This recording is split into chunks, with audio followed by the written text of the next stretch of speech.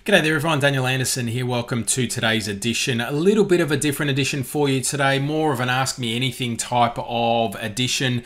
Um, and I've received a number of questions via the YouTube channel, uh, and today I am going to answer one of those. So the question is, I have a few pages with different kinds of content. Some are updates, other pages have training info, and yet other pages are called info sheets. In a document library, I added a column to identify the kind of content the pages have. So the column is called content type uh, with a number of choices. Is there a way to add a filter in a web part, say the highlighted content web part, to show only one type of content, for example, info sheets? So that's what we are going to take a look at today. How do we actually go about uh, creating that or solving that type of situation? So the first thing we're going to do is set up our document library. And the number one thing or the first thing that we are going to do and a good practice is to create what we call a site column. Now a site column is a reusable column that you can use across multiple different document libraries in the same site. So that means that we can have a, uh, a specific library for info sheets and one for another type of content and one for training information. So, and then we can reuse that same column across multiple different libraries. Now, we need to get into the site information and then into view all site settings. And then under the web designer galleries, we've got this option here called site columns. So this is where we're going to create our column. So we'll click on create and then we'll give this a uh, column name called document type. We'll use a choice column here and then we will create a new group and let's just call this my custom columns and you'd obviously name that a more meaningful name in production. Uh, and then we can enter in our choices. All right, so we've got updates, we've got info sheets, and we've got training information. Now let's click OK. So that's now created what we call a site column. We then need to add that column to our document library. So let's jump back into documents and then we can see that I've already uploaded a few documents here, but there's no other columns, right? So we'll jump into library settings and then we'll go into more library settings and notice that we're not just adding a column directly to the library here with that add column option. We're going to go into under the column settings here. We're going to go add from existing site columns. All right.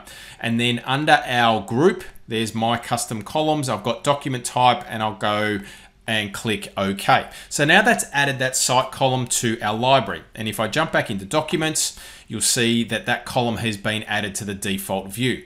I now can select my documents. I can then go to the properties or the information pane here, and then I can bulk edit these if I want to. So let's go info sheets, we'll hit save, and let's just set all the other ones as well. So we'll go, these two can be updates, and then the last two can be training info. All right, so we've got those two. That's now saved, and then let's just set the last two uh, for training info, and now we're all set. All right, so we've now tagged our document types. Now let's create a page, and I'll call it a topic page for info sheets. So let's jump back to the home page. I'll create a new page and then let's have a look at the highlighted content web part and how we can um, craft that to display what we want it to display. So I'll just choose a blank column, uh, sorry, a blank page, and then let's give this a title and let's call this information sheets. So this could be a page that has lots of different bits of information all about our information sheets, but we want to also display those documents. So let's hit the plus button and let's choose the highlighted content web part. Now in the properties of this web part, we can then craft out the or display certain types of documents and, and, and information. So the source here, now we want to use a column in a document library. So instead of the source being this entire site, I want to choose a document library on this site and it is the doc the, the library called documents and I do want to pull back any type of document. Now this is where we can choose what documents out of that library we want to display. So you can see that we've got a few different options. We've got title includes the words recently added, recently changed, created by, modified by, and this is the one that is going to give us what we want, the column name. So what I want to do is I want to find the column name that we call document type. And then you can see there that appears in the drop down. Now, if the document type equals info sheets, then I want to display those that information. You can see we've got equals, doesn't equal, begins with, or contains. So I'm going to say equals uh, info sheets. All right, and what that's going to do is you can see that I've got three documents that dynamically appear in that web part. So that means I don't have to edit this web part. All I need to do is go to the document library, upload my info sheets, tag it as an info sheet, and then that will display in this web part. And let's now um, publish this page. All right, so we'll publish this page and now we've got a little uh, carved out area here that is displaying our info sheets. Now we're not just limited to a single instance of this web part though. We can add multiple different web parts if we wanted to. So I might uh, hit the plus button and let's go add another highlighted content web part. So another instance. I'll change the source to a document library on this site uh, and again, we're going to choose the document library uh, and let's use the filter column name um, and we'll go document type again. So if you had different types of columns here as well, you could obviously choose different types.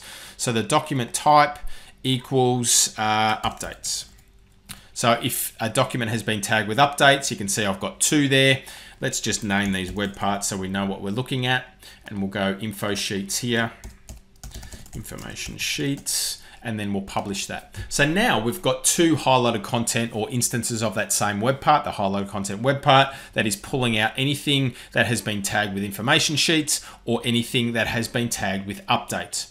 So that is how you could have topic pages. So you've got a document library, you've got a column uh, that shows or allows you to choose from, from different options about the, the type of document that it is. And then you can create a page all around uh, that particular topic, use the highlighted content web part and only display the information or the documents out of that document library that have been tagged with that web part uh, with that value. Now, the beauty about using site columns is that you're not just limited to a single document library.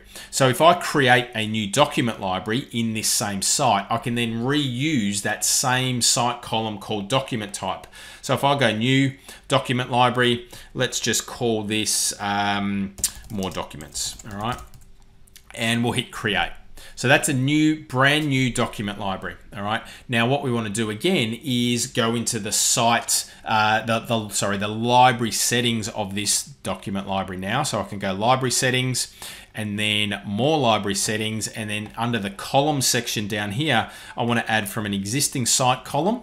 All right. And again, I'll choose our custom group or our custom column group. We'll go add and we'll go okay. And now we've got an additional document library in the same site that is using that same column. Same values so that we get a standardized approach to uh, tagging our documents in that case as well. And then we could use the highlighted content web part to then also now target this document library and show anything that's been tagged with those values as well. All right. So I hope that brings you some value today. A little bit of uh, AMA uh, with a question coming from the YouTube channel. Uh, I'm sure that will help um, more than one person. So uh, once again, thanks for watching and I'll see you in the next edition.